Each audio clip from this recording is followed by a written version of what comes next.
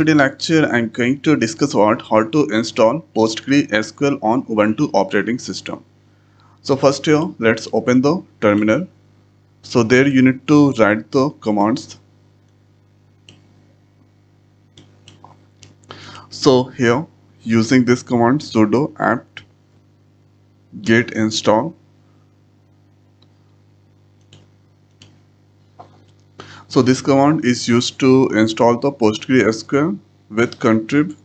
So give the password and press. So now you can see here or uh, this will take uh, additional disk space 161 MB okay and need 42 MB for of archives. So after that write Y and press enter. So now you can see this is the some download process is going on from this sites and uh, here you can see the status 10% that's completed. So it will take some time to complete the download. After that it will do the installation of the PostgreSQL on Ubuntu operating system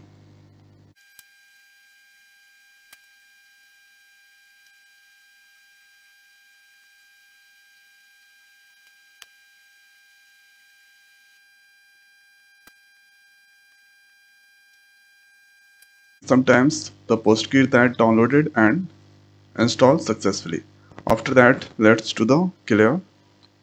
And here we need to use some commands to show the Postgre. So you need to use here apt so PostgreSQL. Press enter. Then you can get here package Postgre version this one and uh, this all information you can get. Is here I'm going to or check the services of the PostgreSQL. So for this one, we need to use this command.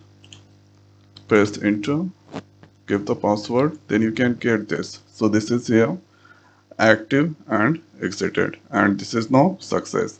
So it's uh, working and here you can see this is the status is now enabled. After that, the next is we need to set the password of the Postgre user so let's use this command. Press enter. So we need to give the new password. So let's uh, give here.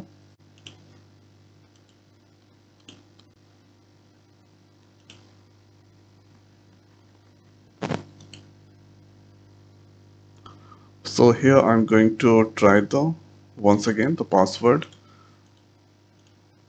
so let's uh, press enter. Give the password for the add a user.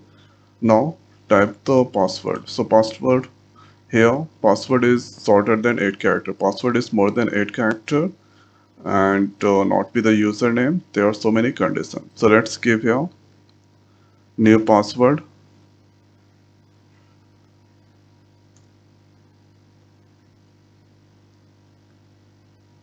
must be greater than 8 character so password updated successfully. After that uh, we need to connect with the SCO Postgre user. So for this one we need to use here this command. So here that's uh, connected. Okay. And so that's it. So this is how we can connect sorry this is how we can install Postgre inside the Ubuntu operating system. So I hope guys this video is the helpful for you. So now in this video it's over. So thanks for watching. See you next video. Thank you.